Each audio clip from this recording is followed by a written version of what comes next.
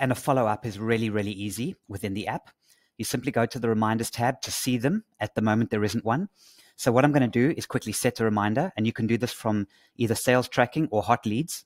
Remember, this can be a custom tab that you can create. So, let's say, for example, you're in sales tracking and you want to set up a reminder to Wade to rem- remember to follow him up in one week's time. You click on this button here, set reminder. You put the date, uh, the title, sorry, uh, in this case, might be a follow up call or a meeting, whatever it happens to be. Follow ups are the most common.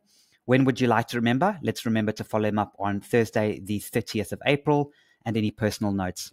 And then you click save. Literally, that's all you have to do. From now on, they will now appear in reminders. Here, it'll remind you on 30th of April to follow up Wade, and you can either delete it here or you can mark this task as complete.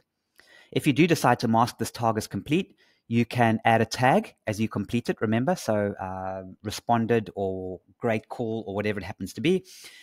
And once you've done that, you can then set up another reminder for the same person as well.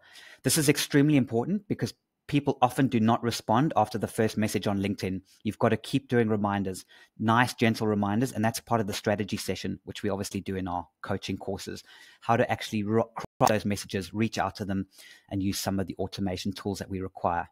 But for now, it's a very, very simple way of using this little reminder button to remind you to do those quick little tasks and to do those all important follow ups.